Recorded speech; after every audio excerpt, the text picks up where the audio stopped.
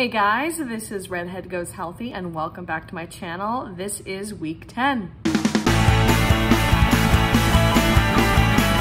Okay, so location is a little different. Um, I, if you can't tell, I'm actually packing. Um, not to move, but I am packing because I am going on a trip uh, starting Sunday, a little road trip.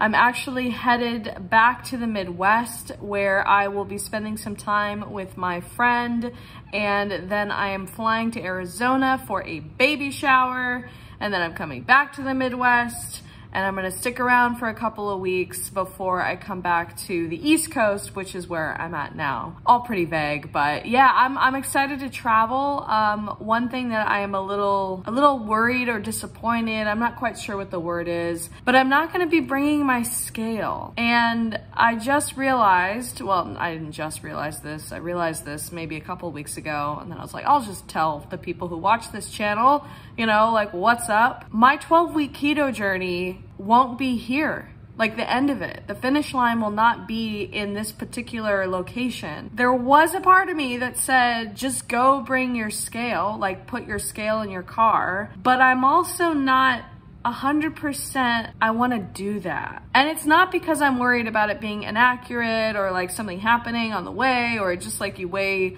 less or more if you're like in a different part of this country. I guess I just didn't want to be so obsessed with that particular number. I have accomplished so many things that have been non-scale victories throughout this entire, you know, journey so far that I don't want to rely upon a number on a scale. Now, unfortunately, that means that there's no like, oh, after the 12 weeks, like redhead goes healthy, lost, you know, X amount of pounds. Like there's gonna be no video that does that but I will bring, I guess, measuring tape. Uh, so I, will still have a before and after kind of transformation video.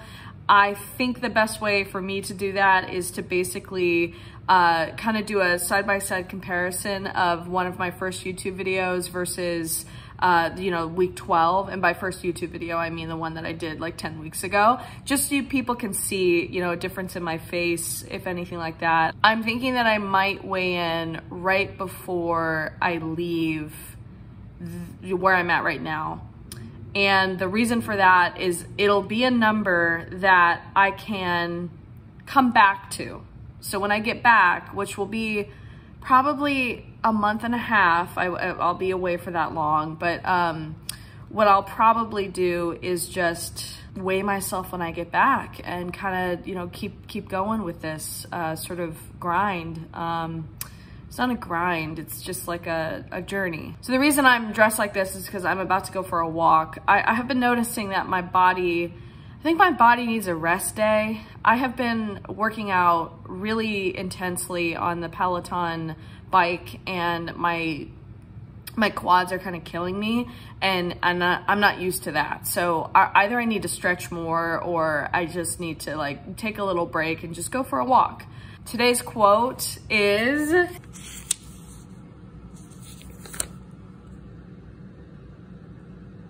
I love that quote for so many reasons. Uh, it's not even reasons related to like a health or fitness journey.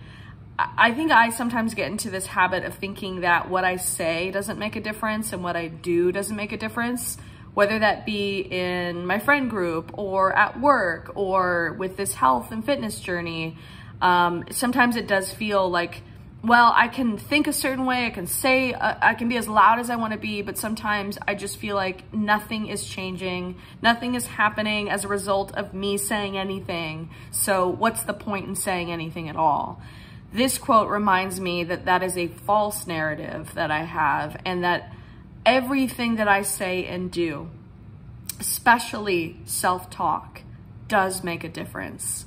Me going on a walk later today makes a difference. Me doing a 90 minute Peloton ride, which I did on Saturday, makes a difference. All of these things, all of the choices that I make actually do have an impact on where I'm at right now and where I hope to be in the future.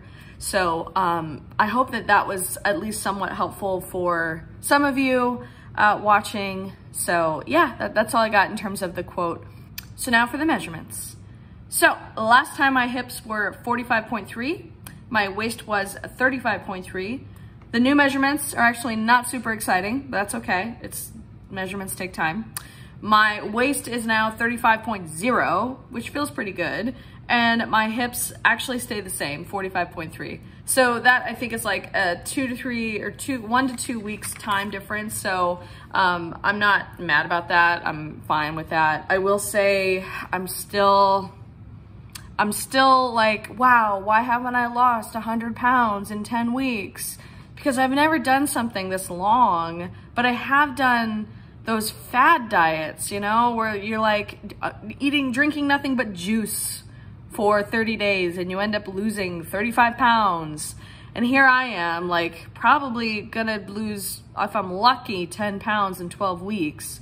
And guys, I, I'm trying to not let it like impact me mentally, but it is, it is. I'm not gonna, I'm not gonna lie. I, I don't know how to handle that. And I think this is the point in the journey, even after the 12 weeks, like this is that mental point where I'm thinking, wow, like I didn't have to do anything different. And like, have I really made any difference?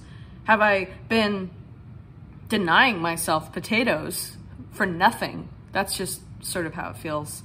But anyways, I am going to keep going no matter what. Like that's the one thing is just, I really believe in consistency and I believe in showing up for myself and I am headed in the right direction. It's just very slow.